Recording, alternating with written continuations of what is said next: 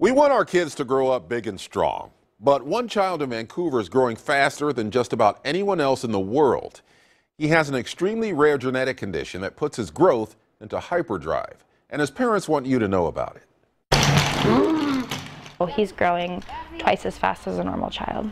It's really hard for him uh, living in a world where he's three and a half but the size of an eight year old. Gabriel Shefchak is already bigger than his seven year old sister Jada.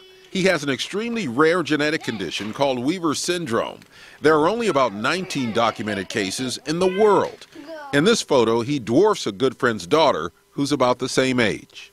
Physically, he knows. Um, he gets leg cramps, arm cramps. His body grows so fast that he's in pain a lot. I don't like the pictures. Weaver syndrome also brings slight autistic tendencies, and Gabe gets upset by too much stimulation. But Cassie wants people to know that he's basically a normal three year old in an eight year old body. I want to raise awareness not only for Weaver syndrome, but developmental disabilities in general. Um, it's better to approach people and ask politely instead of staring or pointing or making assumptions.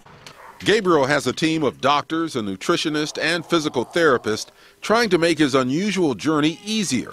He could easily grow to be more than seven feet tall. We just are watching these this accelerated growth. It just keeps going um, through adulthood, and we really don't know when it will cap. But even as Cassie tells Gabe's story, she tries to treat him as normal while hoping his condition doesn't affect his future. I hope everything any other parent hopes for their child. I hope he becomes exactly what he wants to be. I hope people accept him for who he is. Now, Gabe weighed more than 12 pounds when he was born, and he already weighs about 70 pounds now. He has to be constantly monitored for leukemia and other forms of cancer. But in most cases, people with Weaver syndrome live normal lifespans.